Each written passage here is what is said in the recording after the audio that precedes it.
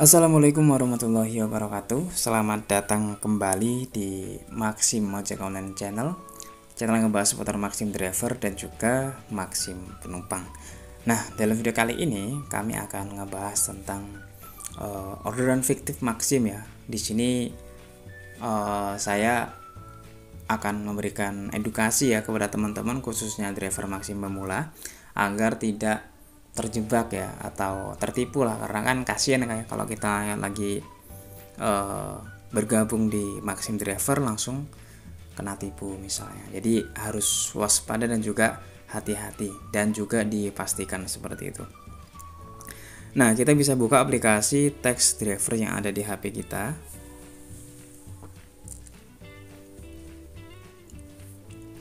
Nah, ini kita sudah memasuki di menu order ya. Kalau kita lihat di sini orderan yang paling dekat itu belum ada. Emang biasanya dia nggak langsung muncul.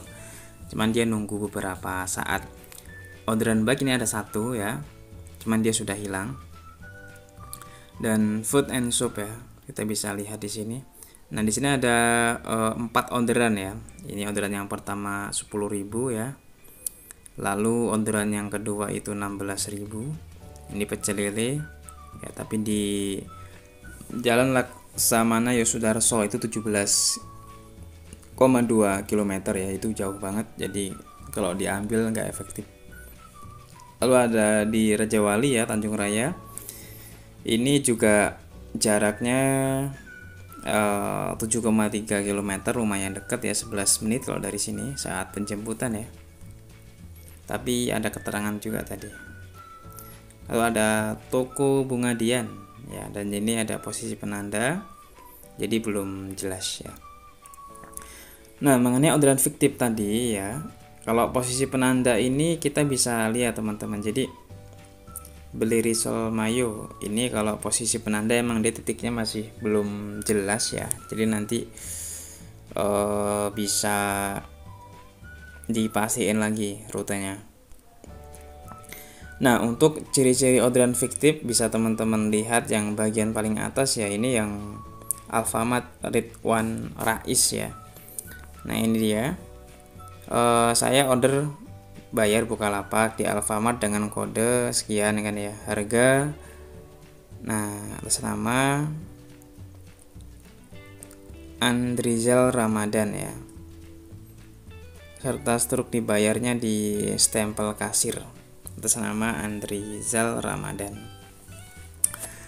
Nah, kita perlu uh, berhati-hati ya terhadap um, orderan yang seperti ini ya. Memang nggak semuanya ini itu fiktif, oke? Okay? Pahami ini, nggak semuanya orderan ini itu fiktif. Nah, cuman uh, alangkah baiknya kalau kita itu mau uh, bayarin seperti ini uh, kita ini aja apa namanya samperin orangnya gitu. Jadi kita khawatirkan dengan biaya 115.500 eh, ini nanti pas kita sudah bayar kita khawatir ya kan? Ternyata uh, sama orangnya dihapus kan nggak ada jaminan juga di sana. Jadi saran dari saya kalau misalnya orderan seperti dihindari aja dihindari cuman kalau emang kita penasaran kan eh, tadi dipastiin dengan cara kita datang ke rumahnya. Jadi kita ngambil uangnya dulu baru kita bayarin tuh di situ sekalian. Kayak gitu ya. Eh, karena ada beberapa yang emang sudah tertipu gitu tuh.